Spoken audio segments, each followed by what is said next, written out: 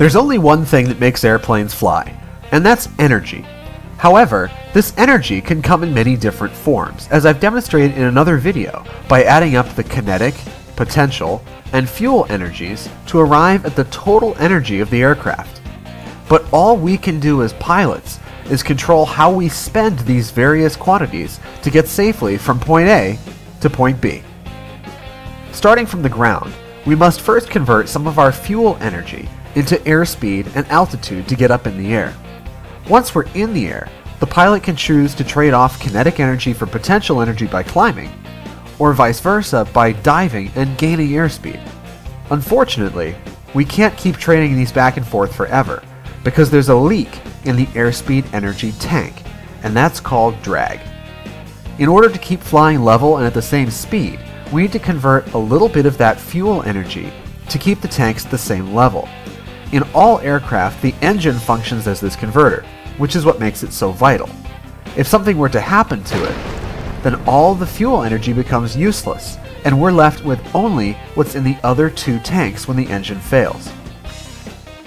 This is why you'll hear pilots advocating against low approaches, but in reality, there's nothing dangerous about a low approach, only a low energy approach.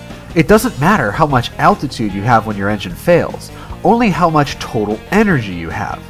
This was coined as energy maneuverability theory by Air Force legend John Boyd in the 1960s and is credited with changing Air Force pilot training forever. Let's take a look at a practical example. What I want to do is I want to demonstrate for people that there's a difference between a low approach and a low energy approach, and there's only one of the two that's dangerous, and you can tell me which one. Because people sometimes panic anytime they see the trees, but as long as you have plenty of energy, and that kind of be in honor of legendary pilot Bob Hoover, who passed away earlier this year, my flight instructor's personal idol, um, and I really respect everything he's done. Look up this amazing performance he's done, where he has a cup of water, and he, he pours water out of a pitcher while doing a loop. That's how good he is. Wow. So he would tell you it's all about energy management, and that's what my flight instructor taught me. So watch what I'm going to do. You see how this looks like a pretty pretty decent sight picture? Yeah. Well, we have tons and tons of energy right now, right? We're doing, we're inside the yellow arc. We're doing 130 knots, okay? Lower, lower, lower, lower, lower. Runway's not even in sight anymore, right?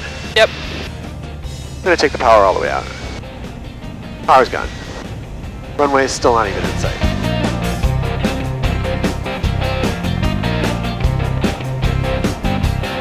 The 100 knots.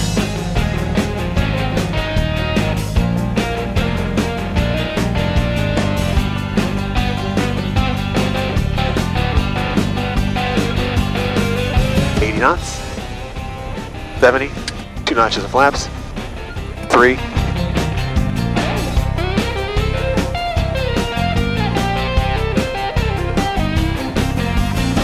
And we're still floating.